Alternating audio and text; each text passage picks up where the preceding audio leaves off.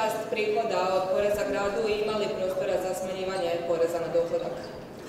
Znači danas se pojavio jedan članak koji kaže, eto vidite, povećali se porezni prihodi grada Zagreba i onda se to uspoređuje sjećan 2024. sa siječnjom 2023.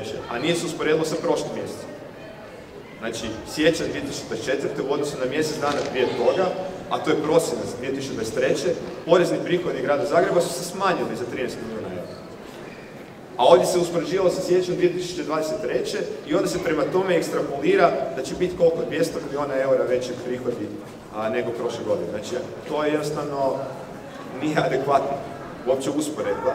A, naravno da će porezni prihodi biti veći, projicirani su i veći u proračunu grada Zagreba, ali isto tako će biti veći i troškovi.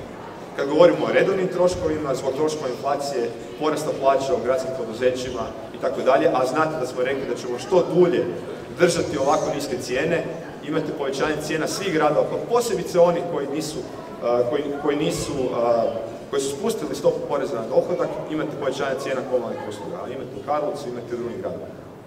Tako da u tom smislu trebalo bi vidjeti na kraju godine koliko će to povećanje prihoda biti, neko hoće, ali sigurno će biti povećanje i troškova.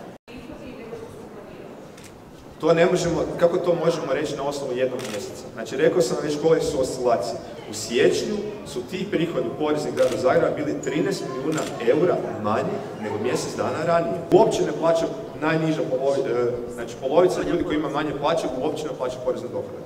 Ovdje isključivo govorimo o najvećim plaćama u gradu Zagrebu. Ja mislim da građanima puno bitnije da im cijene komunalnih usluga se ne povećavaju unatoč inflaciji.